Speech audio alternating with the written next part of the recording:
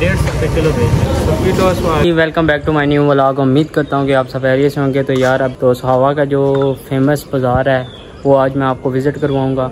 तो इसका एक मुहावरा भी है कि सुहावे की सुखी टोर सुहावे वाली। तो आज वो हम किसी बड़े से या किसी से पूछेंगे कि ये कहाँ से मुहावरा स्टार्ट हुआ है। तो सुहावा क्यों कहते हैं? तो जो सुहावा का मेन बाज़ार है, उसकी हम आपको चीज़ें दिखाएँगे कि कितना सस्ता है, ये सुहावा सस्ता है। देखते हैं तो सो लेट्स सी अभी मज़ा आएगा ना भिड़ो।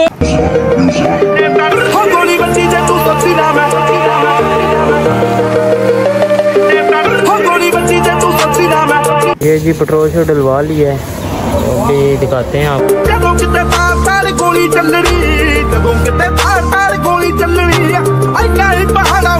तो फाइनली यार पहुँच गए हैं सोहावा।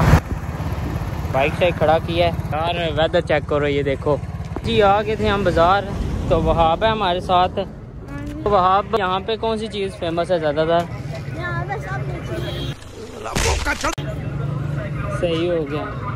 तो ये है वो बाज़ार जी जो कि सुहावा का बहुत ही फ़ेमस है। तो आज इनसे चलते हैं तो इनके साथ गपशप करते हैं। तो रेट भी पूछते हैं। अस्सलाम क्या हाल है भाई जान सुनाओ ठीक ठाक हो? हम शम किस लाए ने हम सौ रुपए किलो लाए सही हो गया। रश रश को नहीं है इस वजह बाज़ार जुमा हुआ है। सही है। शहर निकले शहर है। ठीक है। दस चंगी होने तो बीस दिहाड़े मोदी होने। सही हो गया।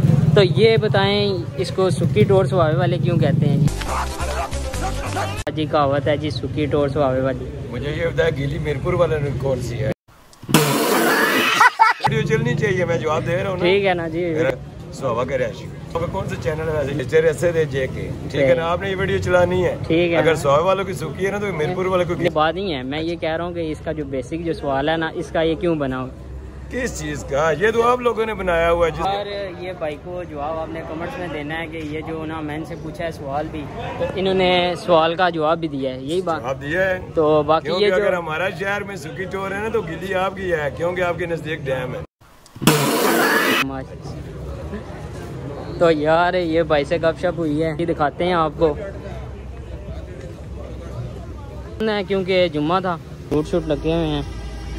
तो ये चाचा जी से गपशप लगाते हैं और सुनाए सेहत भी तो इधर गई हैं सुहावा गई हैं। तो सुहावा की कोई हमें कोई मेन चीज़ बताएँ। लुकमान स्वीट है उसके समोसे हैं स्पेशल सही है। चिकन वाले भी हैं जलेबी है भी है जी। सही। उसका स्वीट है उसमें मिठाई है उसकी। सही। जामुन चमचम ढाका चमचम। सही। बेहतरीन आई है तो ये आज रश वगैरह नहीं है? जुम्मे की आज जुमा है आवड़े होता है। सही। एक बजे बाज़ार बंद हो जाता है लोग जुमा वगैरह पढ़ते हैं उसके बाद दोबारा दुकानें नहीं खोलते। सही। ठीक हो गया। तो बाकी ये है जी आज रश वगैरह इस तरह का नहीं है तो वैसे इस तरह रौनक लगी होती है। है सही है। आज जुमे के बाद से बाज़ार बंद। थैंक यू सो मच तो ये शॉप वगैरह है इनकी। जूतों की। तो चलते हैं आगे फिर दिखाते हैं आपको। क्या हाल है? खान साहब ठीक है ना? अस्सलाम वालेकुम। हाँ जी भाईजान क्या हाल है? ठीक है? किस तरह आम शाम लगाए हुए हैं? किस तरह? डेढ़ सौ रुपये किलो है जी आम। तो कुछ मुनासिब शासब हो जाएगा? कोई मेन चीज़ बताएँ हमें। तो सही है। पुराने जब भी जुम्मा था तो रश फिर भी उसी तरह ही पड़ा हुआ है। तो ये है जी खिलौनों की शॉप वगैरह। तो ये लुकमान बेकरी जो कि सुहाव में बहुत ज़्यादा फ़ेमस है। भाई कैसे हो आप? सुहावा के रहने वाले हो? कितना अर्सा हो गया शॉप को? अभी भी नहीं अच्छा अच्छा नहीं नहीं ठीक हो गया।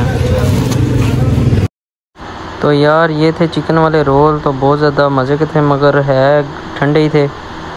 अरे कहना क्या चाहते हो? अभी चप्पल वगैरह लेनी थी तो अभी चेक करते हैं। अगर कोई हमें पसंद आती है तो फिर आपको दिखाते हैं। यार ये हान साहब से लिए हैं अभी चप्पल वगैरह तो बहुत अच्छा लगा हान साहब। ठीक है, ठीक है। ओके जी।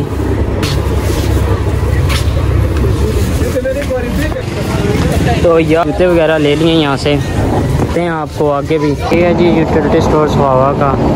ये इनका रेट लिस्ट है जी। ये जी रेट से चेक करो, सौ के एक सौ नौ रुपये का एक है जी। तो वहाँ नहाए हो कोई नहीं? नहा लो यार खुशबू आ जाएगी तुमसे। ये चेक करो जी, दो सौ बारह का। ये भाई नासर हैं, इन्होंने कोई घर की चीज़ें चीज़ें लेनी थी। ये जी स्कैनिंग शैनिंग हो रही है। बिल बना जी आठ हज़ार सात सौ रुपया। यार, उम्मीद करते हैं कि आपको हमारा आज का ब्लॉग पसंद आया होगा। एक न्यू ब्लॉग में। अल्लाह हाफिज़।